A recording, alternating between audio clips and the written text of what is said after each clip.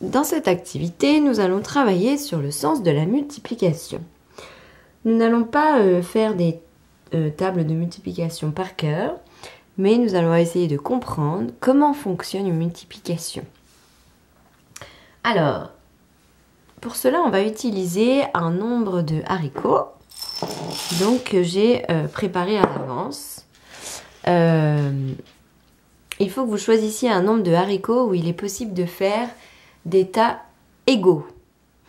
On va demander à l'élève de compter ses haricots le plus rapidement possible. La plupart des élèves vont euh, compter un par un.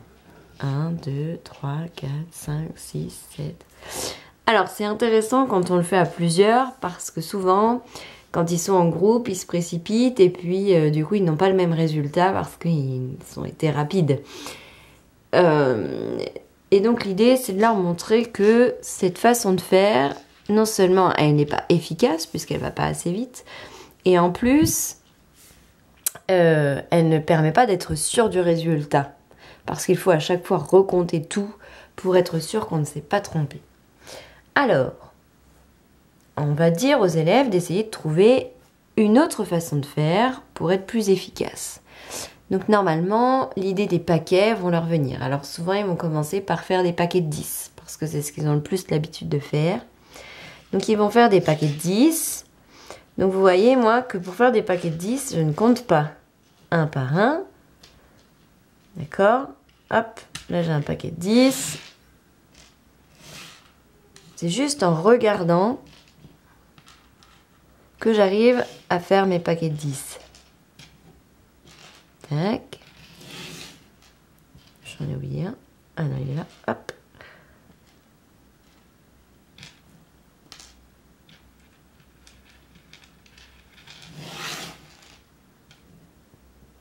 Tac, donc là j'en ai déjà 30. Et il m'en reste 6, donc j'en ai 36. D'accord? Ah, vous voyez pas les 6. Je vais les mettre là. Donc, j'ai un paquet de 10, deux paquets de 10, trois paquets de 10 et 6, 36. Donc cette possibilité, elle est, elle est tout à fait euh, juste. Donc on va demander aux élèves de faire un calcul sur ce qu'ils ont fait.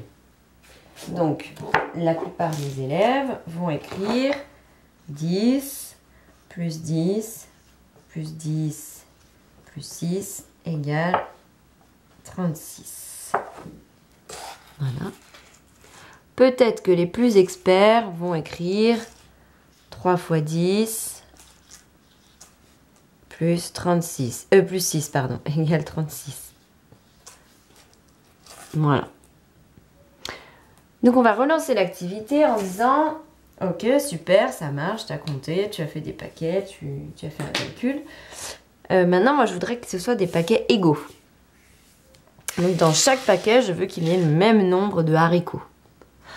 Donc l'enfant va chercher, alors euh, je ne sais pas, il décide de faire des paquets de 4. Bon, alors moi ça m'arrange, hein, parce que je sais le nombre que j'en ai, mais voilà, je fais des paquets de 4, donc toujours je compte jamais un par un, vous voyez.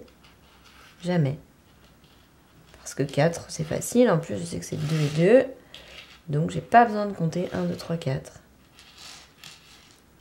Alors ça c'est pareil, si votre enfant il compte, laissez-le compter, c'est pas grave, mais encouragez-le à chaque fois à dire euh, bah, regarde, tu sais, 4 c'est 2 et 2, tu n'as pas besoin de le compter, etc. Donc, j'ai fait 9 paquets de 4 haricots. 1, 2, 3, 4, 5, 6, 7, 8, 9.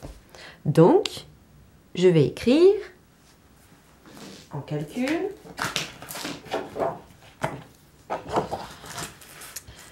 Quatre plus quatre plus quatre plus quatre plus 4.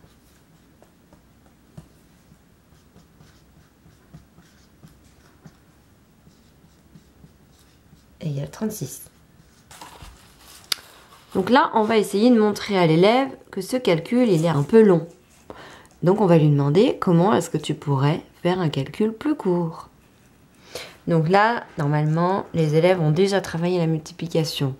Donc, ils vont savoir que, comme on voit 9 fois le 4, on peut faire 9 fois 4.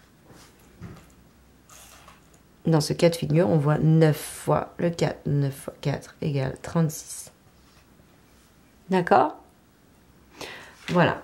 Donc ça, c'est une première activité qu'on peut faire. Donc on peut relancer l'activité en proposant de faire d'autres paquets, donc des paquets de 6 par exemple, ou des paquets de 2, etc. Et de faire à chaque fois un calcul. S'ils proposent l'addition, les encourager à proposer, la multiplication qui correspond. Cette activité s'adresse à des CE1 et des CE2.